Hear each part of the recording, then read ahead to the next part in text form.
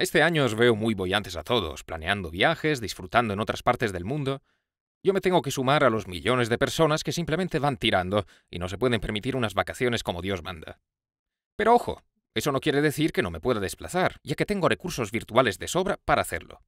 Donde acudo siempre primero cuando quiero visitar otro lugar es a Google Maps. El buscador se ha ganado una merecida fama también como Atlas, y ningún lugar del mundo se queda sin su ración de mapas, ya sea en su versión web o con Google Earth y su espectacular vista tridimensional de ciudades y montañas. Ah, y tampoco me olvido de los mapas de Bing o de Ovi, otro interesante punto de vista. Pero claro, visitar el mundo a vista de pájaro es una cosa, y caminar por él es otra, así que de vez en cuando me doy un garbeo por Street View, también de Google. Con él es como si paseara por las ciudades más famosas, eh, aunque un poco estáticas, eso sí. También me gusta observar el mundo en 360 grados con páginas como AirPano, Vistazo y la extensa base de panoramas.dk. No es como estar allí, pero casi casi. ¿Que nada de eso te convence? Pues quizá un buen juego lo haga.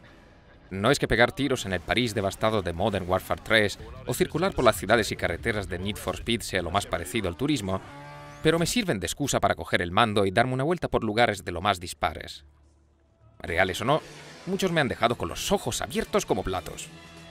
En fin, que como ves tengo muchas formas de hacer turismo sin salir de casa, descubrir nuevos lugares y gastar lo justo.